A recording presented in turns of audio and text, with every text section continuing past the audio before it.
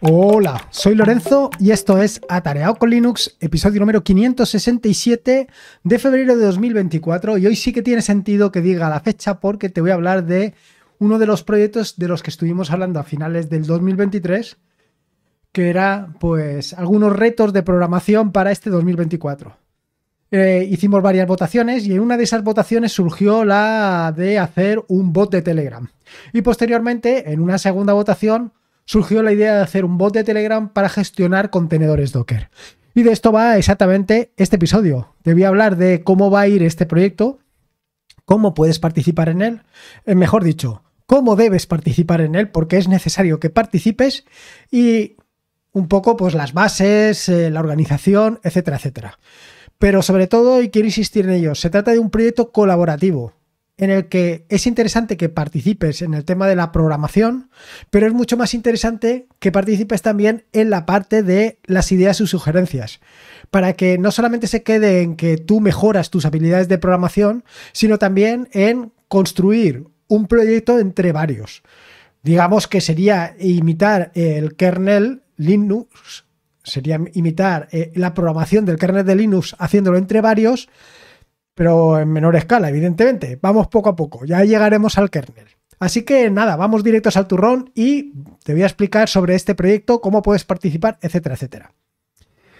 Y parto de lo primero y principal. ¿Qué es esto del Dockerbot? Bueno, pues el Dockerbot no es ni más ni menos que un bot de Telegram implementado en Python, bueno, que implementaremos entre todos en Python para gestionar contenedores Docker. Pero no solamente gestionar contenedores Docker, sino también para estar informado de qué es lo que está sucediendo en tus contenedores Docker. Es decir, si en tus contenedores Docker, pues por ejemplo, uno de tus contenedores cae o se levanta o se crea un volumen o se destruye un volumen, bueno, pues se trata de estar informado de todo esto.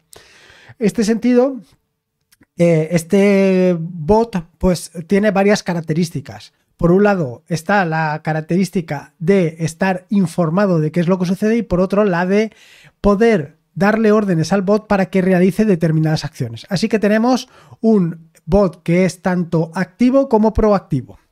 Y esto es la parte de lo que es Dockerbot. ¿Y de qué va todo esto? Bueno, pues como te decía en la introducción, se trata de un proyecto colaborativo. Un proyecto donde, dependiendo de tus conocimientos de programación, pues empezarás a programar en Python si tus conocimientos son nulos o muy bajos, o mejorarás en tus conocimientos de Python en tanto en cuanto pues vamos a hacer un proyecto entre todos. Eh, con ello te quiero decir que es interesante que semana a semana vayas haciendo cada uno de los capítulos para poder ir avanzando poco a poco en el mismo. Dicho esto, em, además de aprender a programar en Python o mejorar tus conocimientos en Python, vas a mejorar en otras cosas. Porque otra de las patas que tiene este proyecto es encapsular todo, digamos, contenerizar este bot en un contenedor, meterlo todo en un contenedor Docker. Y la idea de meterlo todo en un contenedor Docker es para poder desplegarlo en la nube o donde tú quieras. Por lo tanto, además de poder eh, relacionarte con el socket de Docker, poder relacionarte con Docker, también vas a poder o vas a aprender a hacer tus propias imágenes en el caso de que no lo sepas. Y en el caso de que lo sepas, lo vas a hacer de forma particular porque lo vas a hacer con Poetry. Bueno, partiendo de Poetry.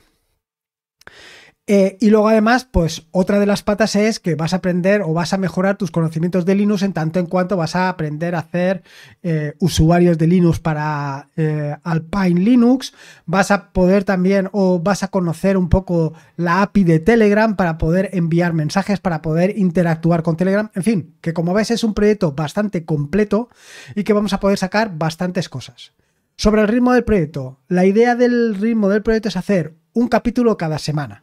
De manera que esta semana te propongo hacer el capítulo, te propongo lo que tienes que hacer para el capítulo siguiente y en la semana siguiente lo que voy a hacer es mostrarte en un vídeo qué es lo que he hecho yo para que tú veas si lo que tú has hecho, em, ¿cómo te diría yo? Es similar a lo que he hecho yo, es mejor que lo que he hecho yo o es distinto completamente de lo que he hecho yo. Cualquier cuestión vale si es completamente distinto o si es mejor o si es diferente, pues simplemente tienes que proponerlo. Y lo siguiente, eh, si no quieres, em, simplemente lo único que quieres es programar, pues lo que puedes hacer también es participar en el proyecto subiendo tu código a GitHub. porque esto es algo que lo he dicho hasta ahora. Todo el proyecto va a estar alojado, en mejor, mejor dicho, ya está alojado en GitHub, en concreto en github.com barra atareado barra dockerbot. Y está organizado de la siguiente manera, que esto lo puedes ver en las notas del podcast. Está organizado de forma que eh, tendrás cada capítulo, es capítulo guion bajo 00, capítulo guion bajo 01, capítulo guion bajo 02 y eh, cada uno de los capítulos está en una rama. Y cada rama eh, está capítulo 00 barra atareado. Capítulo guion bajo 01 barra atareado. ¿Por qué? Porque estos son, corresponden a mis soluciones. Luego puedes subir ahí haciendo un pull request también, porque esta es otra de las partes interesantes, que si hasta el momento no habías trabajado nunca con GitHub o no habías trabajado nunca con Git, pues ahora es el momento de aprender también a trabajar con Git. Y en este sentido, bueno, pues sube tu código también para enriquecer el repositorio y que el repositorio sea más potente.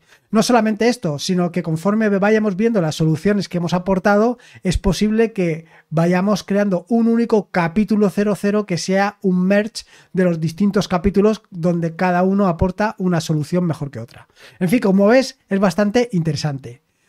¿Cada cuánto sale un capítulo? Bueno, pues cada capítulo es una semana. Tienes una semana para resolver lo que yo te diga en la semana anterior.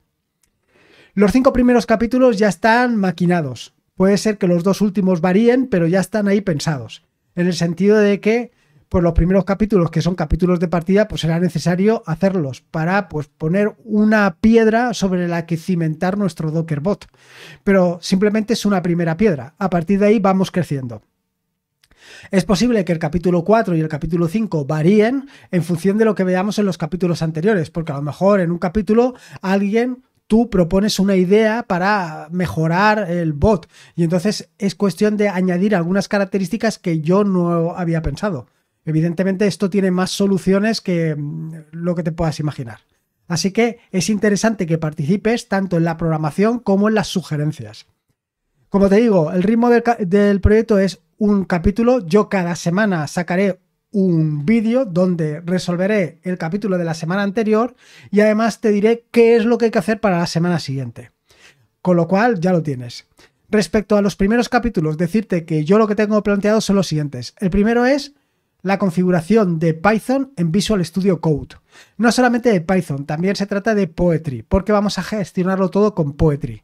Yo creo que es una solución muy interesante y que creo que vale la pena. En el segundo de los capítulos lo que vamos a ver es la implementación de la clase Telegram. Que la clase Telegram lo que va a hacer básicamente es relacionarse con Telegram. Primeramente, crear una clase Telegram que va a ser la encargada de enviar mensajes. Primero, mensajes muy sencillos, como pueden ser los eventos que se producen en Docker, y luego ya iremos complicándolo porque tendrá que interactuar con nosotros.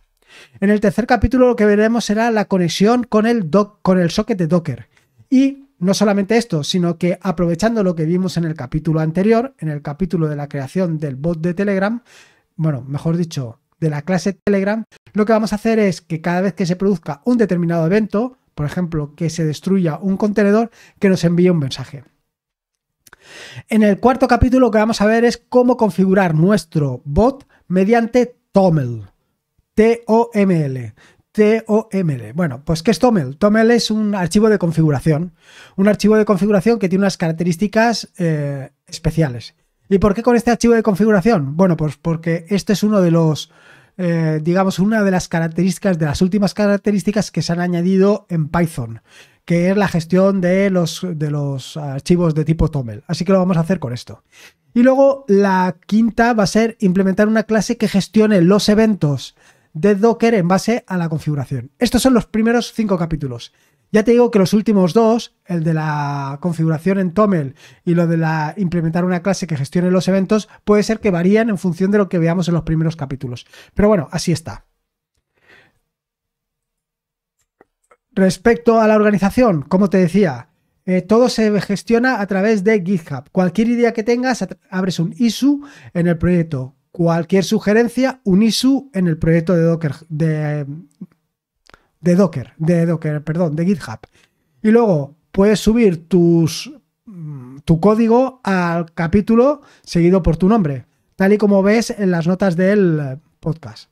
Respecto a la participación, Bueno, decirte que para hacer esto eh, estoy partiendo de Visual Studio Code. Y tú dirás, como dijo el otro día Gabriel, ¿cómo? ¿Estás loco? ¿Estás amenazando la sostenibilidad del open source? Haberte eh, decantado por Visual Studio Code en vez de NeoBeam. Bueno, no es exactamente así. Tampoco Gabriel me dijo eso, evidentemente. Pero no es esto.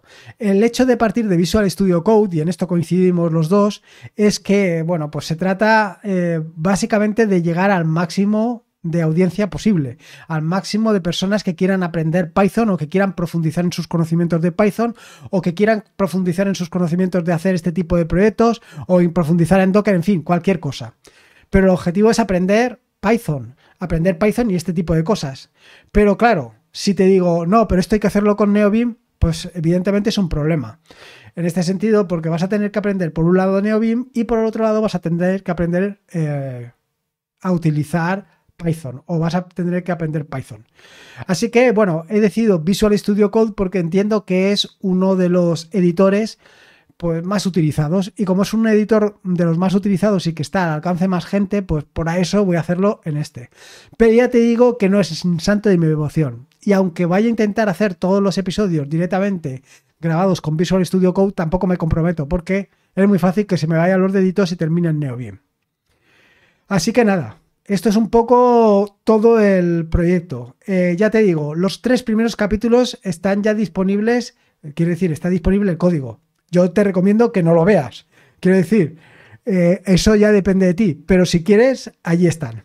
En el en este, o sea, quiero decir, la próxima semana, para el próximo lunes, eh, tienes el fin de semana incluso por delante, se trata de que hayas instalado y configurado Python en Visual Studio Code, que hayas configurado el proyecto y que hayas eh, pues configurado también con Poetry. Esto es importante. Hace poco dediqué un episodio del podcast a Poetry y creo que le he dedicado algún vídeo.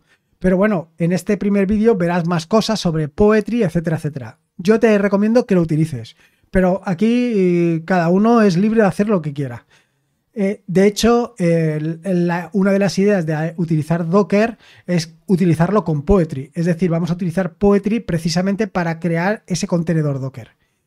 Y yo creo que con esto más o menos te he dado una visión general de todo lo que es el proyecto, de cómo puedes participar, decirte que es fundamental la participación, que es necesaria, que es necesaria no solamente la participación de programación, sino también la propuesta, las ideas, las sugerencias, todo eso es fundamental para que este proyecto vaya adelante y vaya creciendo. Em, vamos a ir poco a poco, como has visto empezamos de cero, empezamos configurando Visual Studio Code. Luego, el siguiente capítulo es crear una clase en Telegram, o sea que vamos de poco a poco. Eh, recordarte que tiene las píldoras pitónicas para cimentar un poco, para fundamentar tus conocimientos en Python. Así que aprovechalo y yo voy a intentar, por lo menos los primeros capítulos, ir lo más lento posible para que todos los conocimientos se asienten. Y creo que con esto es todo lo que te quería contar. Recuerda que para el próximo lunes eh, es fundamental que ya tengas configurado tu Visual Studio Code. O si no, podrás ver cómo lo configuro yo. Bueno, verás cómo o qué extensiones estoy utilizando y cómo consigo configurar eh, Visual Studio Code con Poetry y crear las primeras cositas. Así que nada, esto es un poco todo lo que te quería contar. Eh, te animo a que participes, creo que es fundamental y creo que es súper interesante, sobre todo por todas las patas que tocamos aquí. Así que nada, te invito a ello.